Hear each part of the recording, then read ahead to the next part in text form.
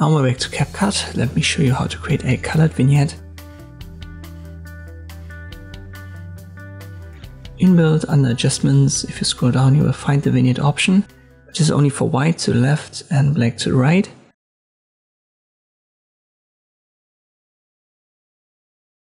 But if you want to have a different color, for example here red would be a good one.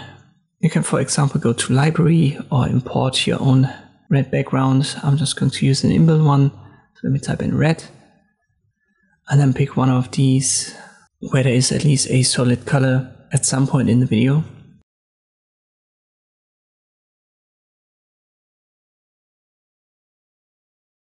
You can see there's an inbuilt animation. I don't want that. So scroll to the position where there is a solid color, no animation is seen, and then I create a freeze frame using that option right here.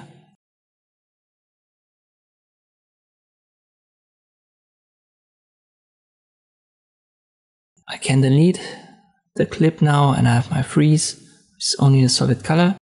I make it as big as my footage.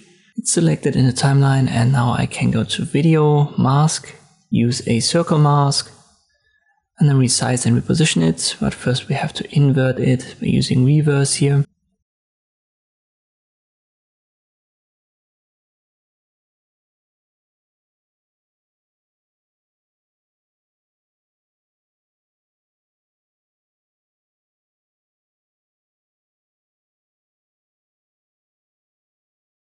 And once that is done, play around with the feather.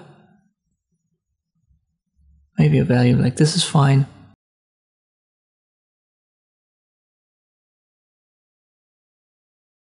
You can still adjust it in multiple ways. Number one is obviously the feather again. Number two is the opacity on the Video Basic Blend.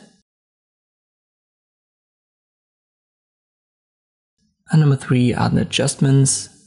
You can, for example, use temperature, hue, and saturation.